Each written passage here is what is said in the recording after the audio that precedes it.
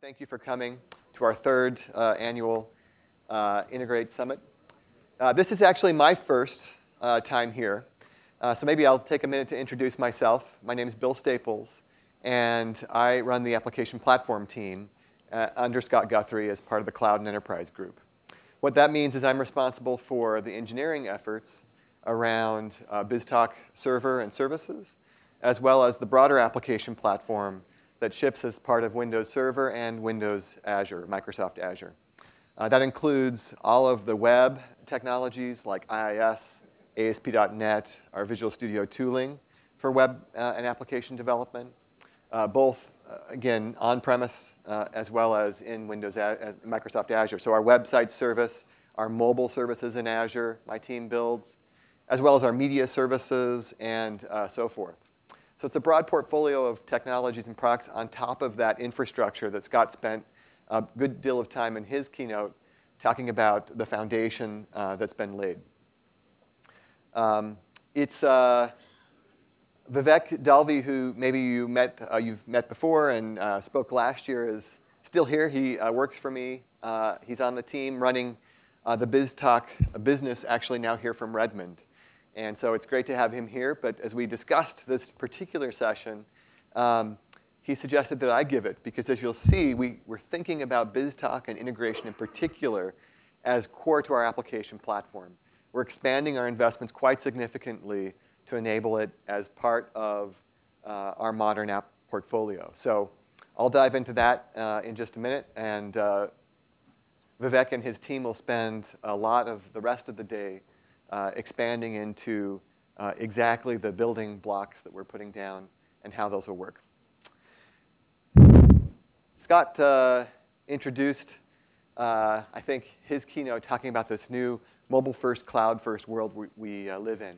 It's never been more apparent to me than it is sort of each time I come and hear him speak, and I think about the rapid progress of change that we're all experiencing. I, have been in Azure now three years, which is just about as long as maybe you've been making your way here. Let me ask, actually ask, how many of you have been here the last three years at the Integrate Summit? Can I see your hands? Okay, quite a few of you, probably 40% of the audience at least, and maybe some of you are taking a drink or whatnot. Um, maybe more of you have been here before. Three years, think back to the last three years' keynotes and what you've seen presented. Um, just seeing Scott present sort of our cloud story, the last three years, as I reflect back, it's amazing the pace of change that we see happening in the industry, the pace of change we see at Microsoft and how Microsoft is transforming into a mobile-first, cloud-first business, and the pace of change of our products and our portfolio. Uh, it is a, a rapid pace of change, sometimes overwhelming. And my goal today is to help sort of lay out how we think about integration in the context of that change and how we're adapting our approach to integration to help you be more successful, both as our longtime customers and partners around BizTalk. Uh, when I started out in this industry about 20 years ago, I was actually responsible for um, setting up and maintaining an RS6000 uh, beast with uh, terminals around the store. It was a retail store environment um, with some custom programmed uh, point of sale, uh, inventory, tracking, uh, finance applications. And um, it, was, uh, it was an awesome job. It was sort of my first foray into uh, managing and maintaining computer systems and, and writing software uh, in this industry. And I've been sort of responsible and involved in building internet and cloud technologies ever since.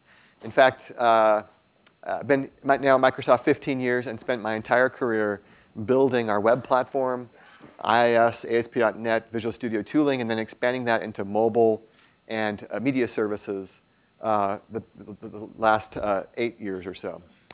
Uh, in Azure, uh, we look at these kinds of applications all the time as customers think about the transition to cloud and how to bring them. You know, you've, I'm sure, experienced the, the transition as well. Maybe you still have some RS6000s or at least uh, you know, IBM or other mainframe systems supporting your business today.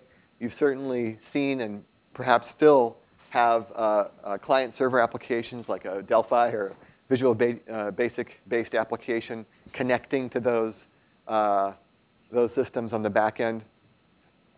But we've also seen uh, this millennial generation coming into our workforce and uh, expecting something different from an application experience. You think about those graduating from college, entering the workforce now, and for the last seven or eight years, they've grown up with probably the most popular computer being the one they carry in their pocket, right? And application experience is informed by the mobile apps they get to message friends, to interact with uh, other students, uh, to get and, and uh, exchange information.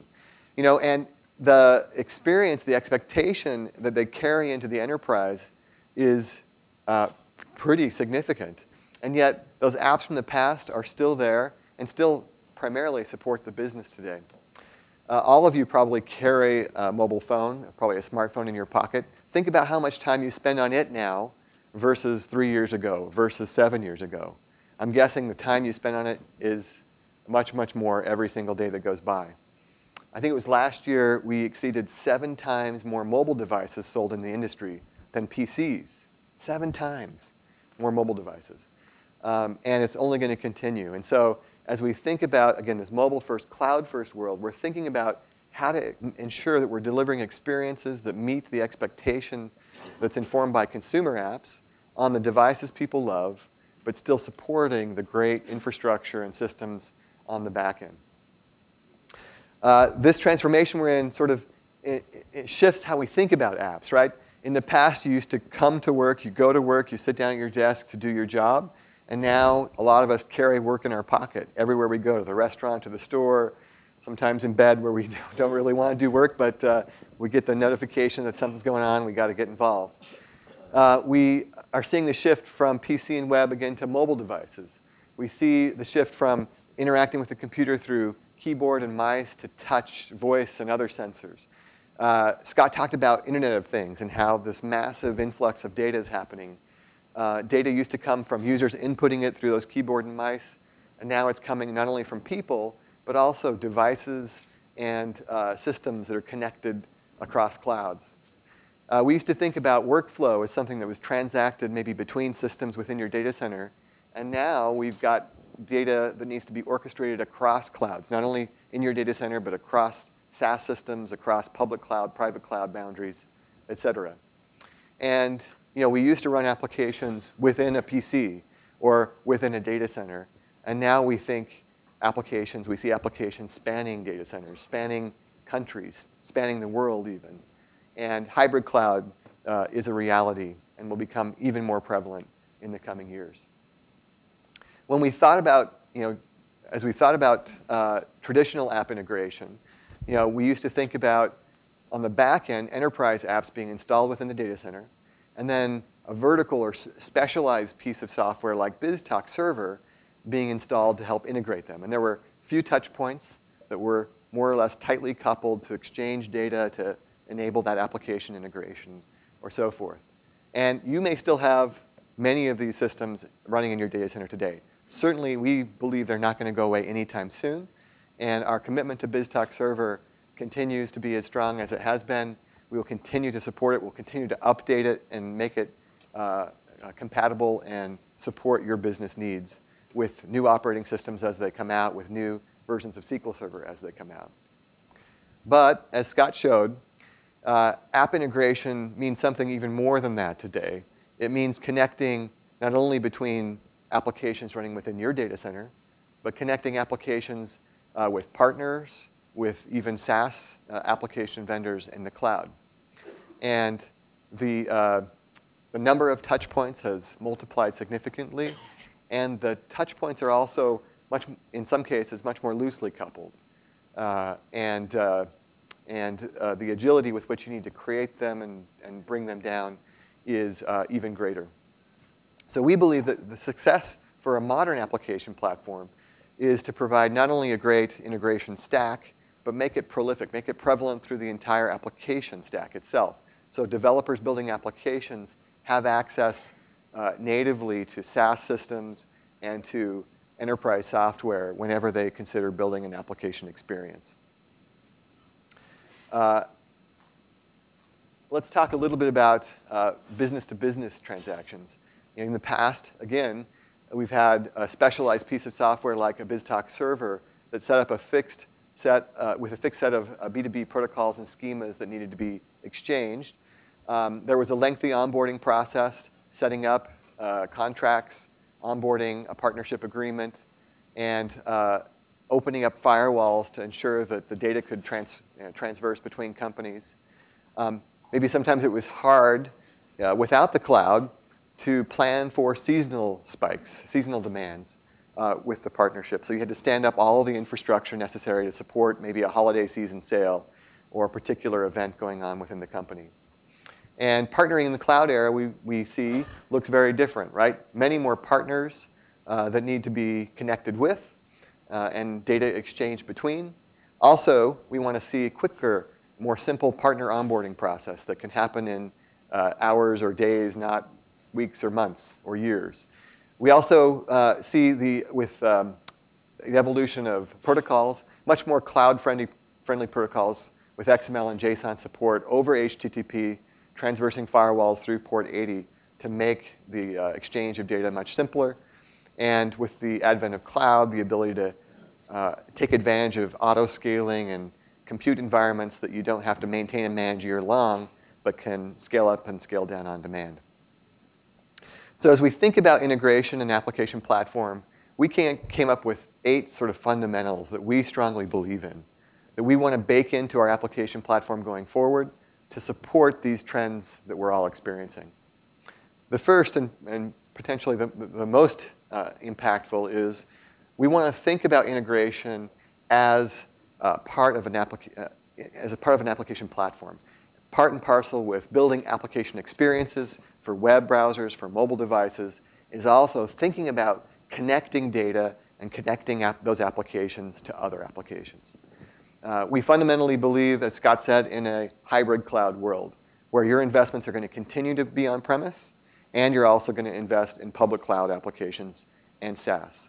And so we want to ensure that you can connect those SaaS systems as they're adopted either by yourself or by business departments or uh, other clients so that you can access those data and systems just as easily as you integrated potentially an on-premise uh, ERP or CRM system.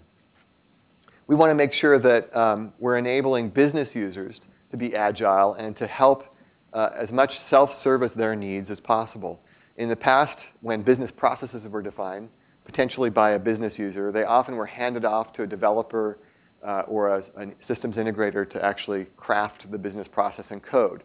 To the extent we can, we want to enable self-service for those users through a web-based experience so that the owner of the business process can actually define it in a simple way, potentially using abstractions or encapsulations that developers build underneath, and uh, self-service the business process for greater agility. We also believe that no matter how much work we do, uh, there's going to be more and more necessary to connect this vast ecosystem of SaaS systems and clouds.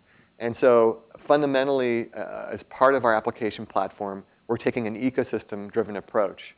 We want our partners to be able to uh, integrate easily with our platform and to extend it with connectors that uh, support uh, their particular business um, in the cloud as well. Also, obviously, it has to be enterprise grade. You've got to have great compliance, great security, great performance and scale no matter if it's running in the private cloud or public cloud. And we're committed to that. Uh, and it has to support cloud scale. So if you do support businesses with seasonal demands or you know, spikes that you need to support, uh, you can ramp up and down capacity, again, as you need. And last, uh, we believe in an open platform to support open source. So you can use the tools and technologies that you have throughout your business to extend our integration services, to extend our platform. So you'll see all of these fundamentals in action as I dive in now. Uh, I just wanted to spend a minute to talk about sort of these as the guiding principles with which we're designing our new platform. Today, uh, if you look at Azure and our public cloud application platform, you see uh, five distinct services. Our Azure Website Service uh, for building out uh, web applications. Um, we support lots of cross-framework uh, um, cross framework, uh, cross platform frameworks for building applications, including Node, Java, .NET, PHP, Python, et cetera. It's a very popular service. In fact, it's got more subscribers than any other Azure service today. Uh, very fast growing service. Uh, we've got mobile services for building mobile back-end services in the cloud to support iOS, Android, uh, Windows Phone. We've got media services for encoding and streaming uh, secure content live and on demand. In fact, media services was the service that uh, uh, was back-ending the Olympics last year. We also support NFL uh, football, the World Cup. Many of the large on, largest online events use our Azure Media Services technology. We've also obviously got BizTalk services as a public cloud offering uh, that we're growing up and nurturing uh, for public cloud support of integration. And uh, this year we stood up API management as well as a front end for either on-premise or public cloud APIs. Each of these services is a great business for us to be in. We, we're committed to them. We think they're important public cloud services. At the same time, as we've looked at um, the portfolio and as, we, as we've spoken to customers about how they consume them, it's clear that uh, really what you're after is a solution. And oftentimes, you may use uh, one of these particular services. In fact, in this room, I'm sure BizTalk Server and BizTalk Services are a focus. But it's often in the context of the other ones as well. You're integrating a web application with a backend system or a mobile application with a backend system. And uh, we think we can do better than having a distinct hosting environment, extensibility model, management experience for each of them that's distinct. And so what I'm going to spend some time talking about is how we've been busy refactoring our application platform and putting integration at the core. This is uh, a new approach that uh, uh, takes our existing investments, our existing technologies, and just refactors them in a way which provides a common application container and a cross-platform extensibility model to support all types of applications. Um, it's also going to provide out-of-box SaaS connectivity, integrated API management, and uh, built-in hybrid connectivity. So you can run public cloud, connect to on-premise systems um, right out of the box. And of course, we're going to make it available both in the public cloud and on-premises. So the rest of the um, talk, I'm going to actually talk about these building blocks and the investments we're doing. And the, the next two days, you're actually going to get drill down sessions on each of the pieces here and how to take advantage of them. Uh, let me actually, though, before we uh, talk about those, show you a demo of the current working code in action. So come on up, Prashant. He's going to show us a demo that's pretty simple, and it's probably a scenario you're very familiar with, uh, where there's a front end the client's going to be using, a mobile application, in this case, running on a tablet. Uh, that front end system submits data into an application environment. In this case, it's a travel request. And it goes to a workflow for um, approval. And that workflow process will actually connect to SAP, uh, connect to SendGrid, connect to uh, an Acme uh, travel bureau service. And so it's connecting to public cloud SaaS systems as part of the workflow. And finally, if the workflow gets approved, then it ends up in the uh, web app portal for the travel booking agent to see that there's a new booking. So probably a very familiar scenario to you. And we're going to show basically each of these systems in action in a quick glimpse uh, running on the new code base. So go ahead, Prashant. Thanks, Bill. I hope everyone can hear me okay. All right. So um, hi, I'm Prashant. Uh, I'm a PM on the BizTalk team. And uh, uh, you know, we're working uh, towards putting the BizTalk piece in the entire stack that uh, Bill just talked about. And the scenario that we're taking to demo here is, let's say, you know, our favorite folks at Contoso uh, who want to put together an application uh, for their employees to go make travel bookings. And um, of course, in the new world, you would want that to be uh, an application that can sit on their tablet. Um, and that request would land all the way to the back end with Acme, who's actually their travel booking partner, who actually handles all their bookings and uh, let's we're going to see how we kind of go put this together, right? Uh, as a part of the demo, we're going to uh, what we've basically done is we've taken um, our work in progress uh, that we're you know working hard uh, to ship really quickly to you guys. Uh, so what you're going to see is real live code, um, and it's it's work in progress. So you might see a few glitches in the UI and stuff, but but it's it's stuff that we're really proud to show you out here today. Okay. Um, I'm going to start with the um, application on the client, uh, which is essentially uh, what an employee in Contoso would use to go uh, make a travel booking. Um, uh, the what Contoso really needs is that the request lands all the way to Acme, but uh, not before they're able to do a bunch of checks on that particular request, right? Uh, like any business, they have requirements on uh, what's what's the policy of travel booking. There's a spend limit on what you can do. Uh, it depends on uh, a lot of things that that's kind of dependent on their corporate policy, right? So um, let's look at the client application. That's like a fairly simple app that we put together and uh, it just takes a form, and uh, you fill in a bunch of uh, data into the form, provide your ID, where you're going. Um, and let's kind of now look at, once I submit this particular um, request, where it would land.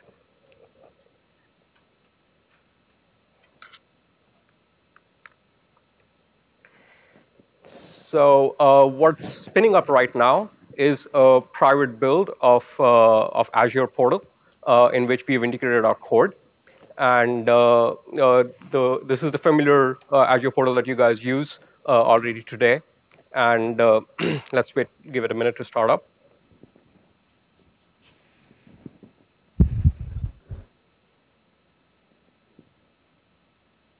So um, this is uh, this is essentially the place we've kind of gone and integrated our code. And uh, let's start with creating a workflow that Contoso wants to create that sits in the middle of the client application I just showed you, and a web service that Acme is uh, uh, going to expose for uh, pro, uh, sending out the travel request to them, right? Uh, creating a new workflow in Azure is going to look very similar to how you go create any kind of new resources from the new from the new drawer out there, and there you see there's a workflow that shows up in the gallery, and you just don't have to start from scratch. We'll have a bunch of uh, pre-baked templates, uh, if you will, uh, that would show up in the gallery that you can pick and start customizing and not have to kind of go build everything from, from an empty canvas. Uh, for the purpose of this demo, we've put together an automated travel booking template. So I'm just going to go hit uh, create on that. And uh, what this template really lets you do is it's got a bunch of pre-baked set of shapes that uh, uh, that put together this end-to-end workflow, right? Um, like any other template, you would be able to kind of go uh, drill into it, modify it, make configuration changes. Um, what we've done here is uh, that we've gone and pre-baked some of those settings into the template, and we walk through what exactly this template does. Uh, let's call it Contoso workflow, and hit create, right? So what this is really doing is deploying uh, the workflow at the backend. And uh, now let's go uh, to the client and see what happens when I submit a travel request uh, and it hits this workflow. So I'm going to put in my ID. Let's say I'm going to go from Seattle to New York, and my travel dates are this, and I'm going to go hit book my ticket. So uh, what happens when I hit book my ticket is that the client is posting a request to the workflow, um, and uh, the uh, and the app tells me that you know my request is in process. Uh, there's a workflow that's going to run and tell me back whether that got approved or not. Let's go back to the uh, to the portal. And so this is the portal where we composed the uh, workflow end to end. Is also the place where you can see what's actually happening live with your particular workflow uh, and we see there's an instance running.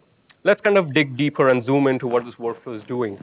Uh, this workflow has a trigger, uh, which is an HTTP listener, uh, which essentially is the endpoint to which my client application posted, right? And which means that your client could be actually running on iOS or Android, and you could go build all those apps for uh, Contoso's employees uh, to you know pick and choose what they like. Uh, once the request kind of flows in, uh, we want to kind of go do some of the typical things that you were able to do uh, in an EAI world, right? Uh, you want to validate the uh, data that's coming in. And then, uh, because I gave just my ID, there's additional data that the workflow needs to be able to decide what my spending limit is. So it reaches out to SAP, pulls out my designation, pulls out my um, you know, past history of spending, and it pulls out which region I may be in. Um, and then it passes all of this data further to a rule. Um, this rule shape is really running a full-blown rule engine at the back end. Um, so essentially, while your workflow definition might just remain the same, uh, you know, if it's simple enough, like if you're above your spending limit, you're not allowed the booking. If it's below, it's great. Uh, but the policy that computes a spending limit might be something that's lot ch changing a lot more frequent, right? And a rule uh, is a great way to kind of abstract out your business policy from the actual workflow definition. We actually have a great session tomorrow uh, to talk about rules, and so please be there for that. Uh, we're going to talk about how rules can be created.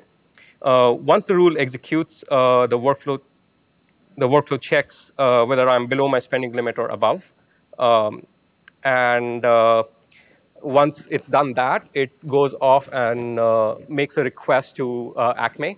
Uh, the box that you see as Acme out there is really wrapping a web service that Acme hosts at the backend to receive, uh, you know, um, booking requests from Contoso. And so, uh, you know, I've just gone and composed all of that together in this workflow. Uh, once all of that is done, I want to tell the employee whether the things worked or not. And so I'm going to use SendGrid, which is a SaaS service, to send back a send back a, a acknowledgement to the uh, employee, right? Uh, let's see if my request actually landed with Acme. Uh, this is the web service that Acme has, and that's the dashboard that Acme uses to track their current open orders. Uh, let's go hit refresh on that and see if uh, the request actually landed. There you see, um, you know, my travel request is now registered with Acme, and hopefully um, I should be on my way to New York pretty soon. And I got an email uh, from the workflow that tells me that I'm good to go. That's it. All right. All right. Thanks, Bill.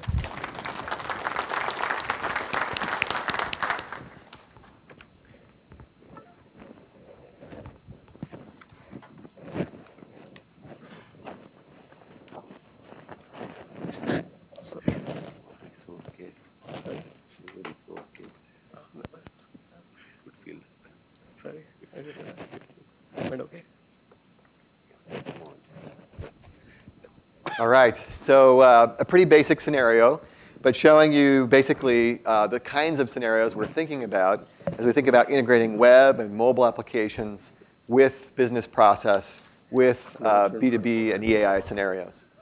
So I want to talk now about the elements of the application platform stack that we're bringing together give you a sense for those, and then we'll spend the rest of the next couple of days diving deep in each of the sessions. It starts with sort of a foundation around app containers and hosting. And uh, we're not building any of this from scratch. We're starting with actually a foundation that's in Azure today and that supports um, a large scale of applications and transactions every single day. In fact, um, on our app platform services, we already support more than 400,000 apps hosted uh, across 300,000 customers. Um, you can see the traffic growth is phenomenal, almost uh, 2 billion requests every single day, and that continues to grow in a compound way. It was just 1 billion like three months ago, actually. So the number of transactions continues to scale. And the great news as well is this same platform that we've got already supports hybrid connectivity, has uh, open language support for Java, Node, PHP, uh, and of course .NET. And we ship it as part of Azure Pack. So it's already available on premise. Our, our, um, our approach then is to take this foundation and build on it the next several uh, layers that I'm going to talk about and continue to support it both in the public cloud and through Azure Pack on premises. So let's go up to the next layer in the stack. Uh, the next thing we're going to build into that stack is uh, native API management. Now, we already have an API management service in Azure today, which you haven't checked out. You should. It's a great service. Uh, we GA'd just a couple of months ago, and it's going to continue to evolve and get enhanced. But we're also going to bake it into this application platform as a native part of building applications that allow developers who are supporting APIs or building their own APIs to have throttling, rate limiting, quota support for the application, offer modern formats. So if you want a REST um, uh, endpoint on top of an existing SOAP uh, web service, for example, you can do that right within the API management uh, service without having to rewrite the code. We've got authentication and key management. So um, built-in support for single sign-on, built-in support for uh, storing keys for both user and application-based authentication on the back end, and built, built-in uh, logging and analytics. You can tell what's going on with the APIs uh, within the application. On top of that API management layer then, uh, we're going to have a microservice runtime for building APIs uh, that make it easy to extend the platform. Uh, in fact, we're going to use the same uh, public extensibility point, as you'll see in a minute, to build hundreds and hundreds of APIs ourselves. This is what you'll use if you're a partner or a customer of BizTalk today to extend uh, uh, the, the platform to connect to your own systems, in, your own internal systems, or to connect to SaaS systems. The microservice runtime will support, again, cross-platform. We're an open platform, so you'll be able to build microservices in any language. Um, we'll support manually or auto-updating those microservices uh, in a gallery fashion, so you can actually submit them into a private enterprise gallery within your corporation or a public gallery if you're consuming a SaaS connection from, say, Microsoft or one of our partners, and it'll automatically get updated, or you can manually update it as you need to. We'll have deep logging and diagnostic support for these APIs, uh, so you can tell what's going on within the system and diagnose problems and easily uh, fix them. And um, we're going to surface all of these, uh, uh, both Microsoft and our partner uh, microservices, in that marketplace that sh Scott showed earlier today. So you'll be able to find many of them, obviously, uh, from Microsoft for free as part of the platform, and also a partner opportunity for monetizing microservices and SaaS connections um, as you see fit. On top of that microservice runtime, then, uh, we're going to provide a whole set of microservices out of the box. We've been investing for some time now to bring uh, literally dozens of the most high priority connectors that our customers are telling us you want and uh, implementing those. So we'll have support for the ones you see up here, um, supporting all the standard protocols uh, that you use, that you see in BizTalk Server today and that you use, as well as common enterprise apps on premise and popular consumer and enterprise SaaS systems. So everything from Twitter and Facebook, if you want to pull out uh, consumer sentiment or product sentiment data, to uh, SaaS systems like Office 365, uh, Salesforce, Workday, Concur, et cetera. And these will all be available uh, through the marketplace um, as we launch the new preview. Of course, uh, consistent with that, we're going to, uh, we're taking the existing BizTalk service and server features, and we're also porting them as microservices inherent to the platform. So you'll be able to take, as you saw in the previous demo, say the validation or the extract format conversion microservice capability, and blend that with any of those SaaS connectors uh, and, uh, and or you know, existing traditional protocols, and build out an, an application integration scenario um, that's unique and distinct to your requirements. In addition uh, to the uh, BizTalk server, uh, BizTalk services microservices, we're also going to have a workflow engine that takes care of orchestrating uh, and calling those microservices uh, in a uniform fashion. This is also a piece of technology that is already existing in Azure. It actually is responsible for the orchestration of resource deployment in Azure. So, you know, when you saw Scott do that uh, SharePoint server farm demo, and he clicked that button. Well, he didn't quite click it. I, just, I saw he canceled it. I didn't think he wanted to pay the bill for that one, uh, for the demo. But if he were to click that, that button, the orchestration of creating nine VMs and SQL databases and Active Directory instances, all of that orchestration is actually handled by a service called Azure Resource Manager today. That same engine is what we're bringing to bear in this integrated application platform to run both automated and human workflows. In fact, the demo that you saw, you saw it in action, right? connecting across BizTalk uh, service microservices as well as SaaS connectors. And it will um, basically accept a workflow definition. We, we happen to store that today in a JSON-based uh, file, so you can store it on disk, you can share it with other people, you can check it into source code if you're a developer. And it accepts that JSON file definition and then orchestrates the API execution um, as defined in the file. It supports both on-demand and long-running processes and control flows has a rich logging and diagnostics engine. And um, on top of it, we are building that web-based designer. You saw sort of an early um, prototype of that that's continuing to evolve to enable both developers as well as business users to create and define those workflows uh, without having to write code or have specialized tooling.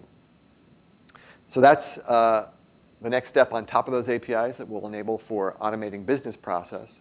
And then, of course, as I said, uh, we're integrating all of this capability with our existing web and mobile uh, services. So um, the same capabilities you have today for building those mobile backends or web applications, you can use in the same context, using the same hosting model and same extensibility points. Uh, with built-in auto scale and load balancing, so uh, you can adjust to seasonal demands with high availability and auto patching.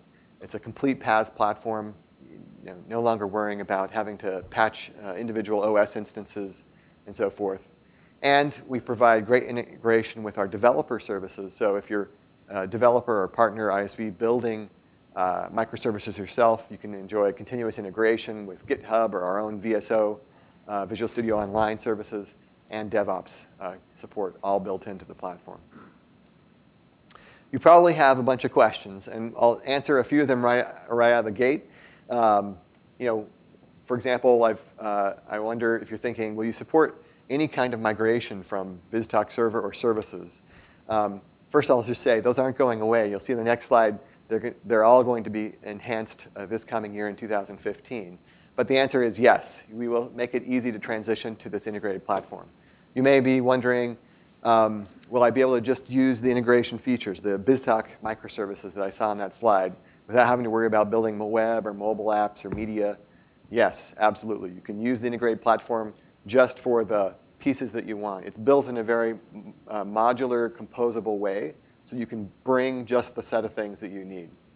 And then obviously, we ship that integrated platform on premises, so I can use it as part of uh, an on-premise deployment and have consistency with what's in the public cloud. And again, the answer is yes. It will be available as part of an updated Azure Pack in the future uh, once we've uh, finalized it in the public cloud.